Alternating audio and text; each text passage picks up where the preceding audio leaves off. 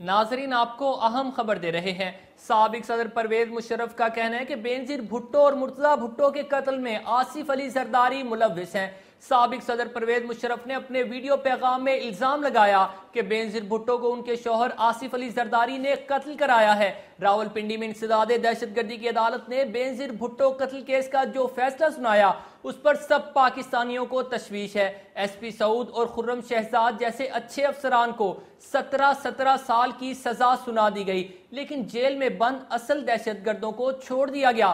ان کا کہنا تھا کہ آصف زرداری نے مجھے للکارا ہے جو میری برداشت سے باہر ہے۔ میں خاموش تھا، لیکن آصف زرداری نے پہلی پہلی بار میرا نام لے کر ہی بی بی کے قتل کا الزام مجھ پر لگا دیا۔